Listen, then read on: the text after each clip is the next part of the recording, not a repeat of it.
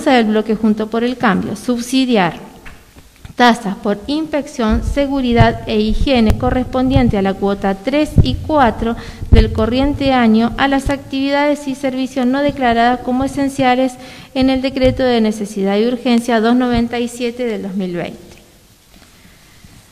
Proyecto de ordenanza del bloque Juntos por el Cambio. Visto las medidas tomadas por el Estado Nacional, Provincial y Municipal de Realicó a raíz de la circulación del virus COVID-19, en lo que la Organización Mundial de la Salud ha caracterizado como pandemia, y considerando que nuestro país ha dispuesto mediante el Decreto de Necesidad de Urgencia 297 del Poder Ejecutivo Nacional, a partir del día 20 de marzo del 2020, la medida de aislamiento social preventivo y obligatorio, medida que fue prorrogada subsiguientemente por diversos decretos de necesidad de urgencia.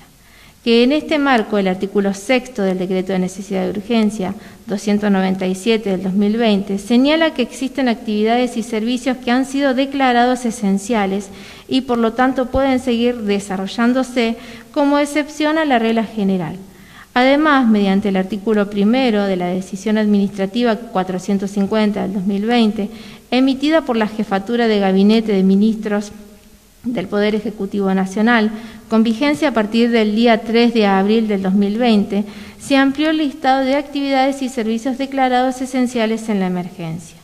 Que si bien gradualmente se han autorizado cada vez más actividades y servicios, algunas aún no han empezado las medidas adoptadas restringen la movilidad de la población e impiden el ejercicio pleno de determinadas actividades económicas, limitando la producción de bienes y servicios, en consecuencia disminuyendo la generación de recursos. Esto trae aparejado en nuestra localidad una difícil situación económica que se agrava con el transcurrir del tiempo. Que la actividad privada es fundamental para el desarrollo económico de la localidad, permitiendo que una gran cantidad de familias se sustenten de manera independiente sin la asistencia estatal, generando puestos de trabajo genuinos y recursos vitales tanto para el desarrollo como para el crecimiento de la localidad. Que a pesar de permitirse la apertura gradual de algunas de las actividades, las ventas cayeron considerablemente a raíz de esta situación de cuarentena con ajustes y pérdidas de poder adquisitivo en el sector público y privado sin saber con certeza hasta cuándo se extenderán las medidas de aislamiento y cuándo se reactivará la actividad económica con normalidad.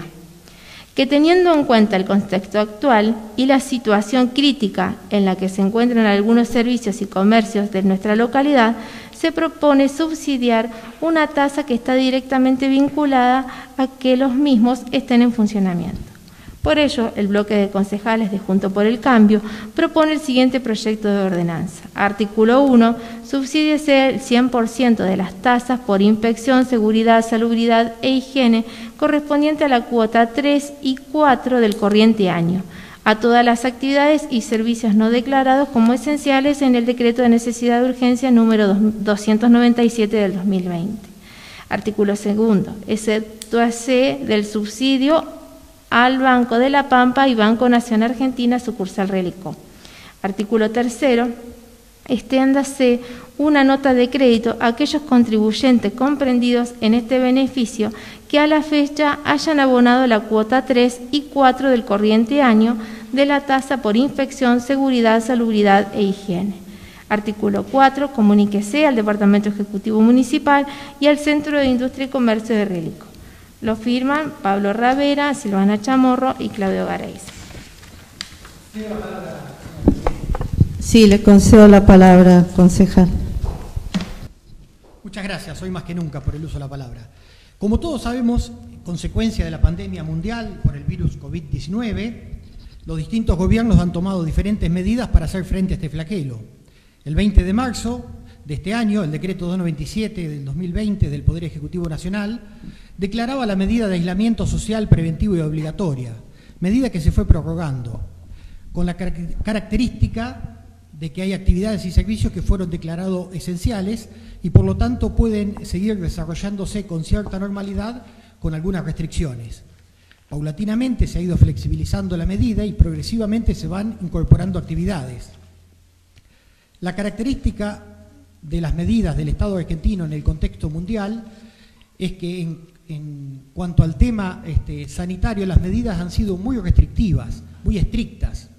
Esto ha permitido aplanar la curva de contagio con considerable éxito. Desde lo económico, por un lado, se ha asistido a los sectores más vulnerables con programas de asistencia y refuerzo a programas existentes, pero por otro lado también este, la característica de la Argentina es que el país que en porcentaje del PBI es el que menos asistencia brinda directamente a las empresas. Dentro del panorama general que es habitual la crisis económica de la Argentina, se le suma un frente externo muy complicado, producto de la caída del PBI mundial, y también complicado por las imposiciones que estas medidas de aislamiento social producen. Hay riqueza que no se produce, actividad económica que se frenó, se paró. De este marco general pasamos a la situación más particular. En nuestra provincia progresivamente también se van incorporando actividades a mayor velocidad que otras provincias y esperamos continuar sin casos positivos de COVID-19. Lógicamente, las últimas actividades y servicios en ingresar son las que llevan la peor parte.